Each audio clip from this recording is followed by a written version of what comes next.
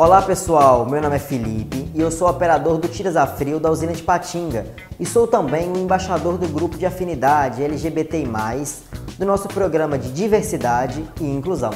Junho é o mês do orgulho LGBTI+, e para iniciarmos as ações, eu vim hoje, como colaborador comunicador, explicar alguns conceitos. Afinal, o conhecimento é uma ferramenta muito importante para a inclusão.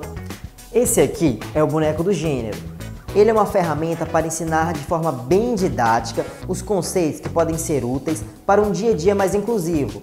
Vamos lá, que eu vou explicar alguns conceitos para vocês. Vamos começar com a identidade de gênero. A identidade de gênero da pessoa não tem a ver com o sexo, e sim com a maneira em que a pessoa se reconhece e se sente.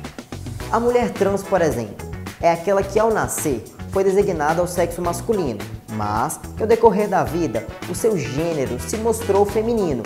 Isso faz dela uma mulher.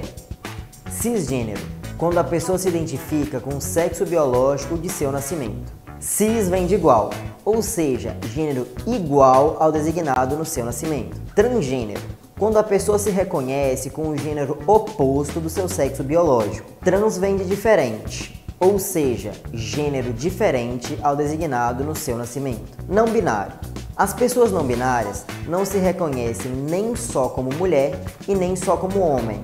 A não binaridade de gênero inclui formas variadas e infinitas. Continuando com o biscoito do gênero, temos a orientação sexual, que tem a ver com qual gênero a pessoa se sente atraída. Temos, por exemplo, homossexual, quem tem atração por pessoas do mesmo gênero.